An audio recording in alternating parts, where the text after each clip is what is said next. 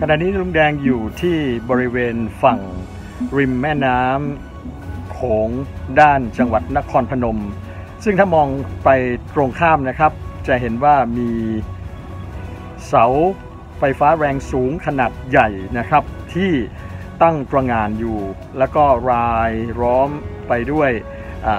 ป่าเขาภูเขาด้านหลังนะครับ เต็มไปหมดซึ่งก็คือเส้นทางที่กระจาย พลังงานไฟฟ้าจากประเทศลาวส่งมายังประเทศไทยนะครับ ซึ่งก็พวกเราก็คงรับรู้กันว่าเราซื้อพลังงานไฟฟ้ามาจากประเทศลาว เพื่อมาใช้ให้กับเมืองไทยของเราได้สว่างสวัยกันทุกวันนี้ เสาไฟฟ้าแรงสูงขนาดยักษ์ต้นนี้นะครับ หากไม่มีเขาสายไฟฟ้าจะพาดผ่านมาอย่างประเทศไทยได้หรือไม่ เพราะฉะนั้นวันนี้เราเคยมีจิตสำนึกแห่งการรู้คุณเสาไฟฟ้า ต้นนี้หรือเปล่า และพลังงานไฟฟ้าที่มาจากประเทศลาว นั่นก็คือสิ่งที่เราได้จากประเทศของเขา วันนี้เราเคยมีจิตสำนึกแห่งการรู้คุณ ที่จะมีเมตตา มีน้ำจิตน้ำใจต่อเขาบ้างหรือเปล่า ถ้าเรามีเราได้บุญนะครับ แต่ถ้าเราไม่มี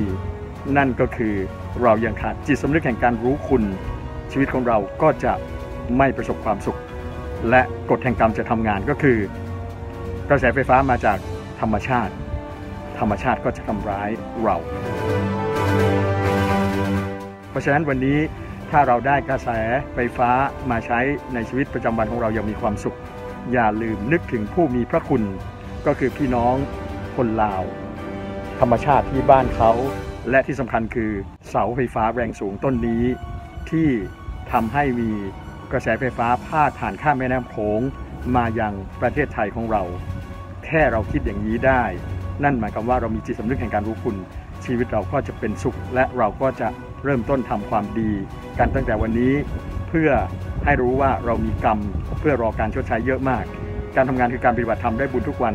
สามารถเอาไปแก้กรรมได้นะครับ พี่น้องชาวไทย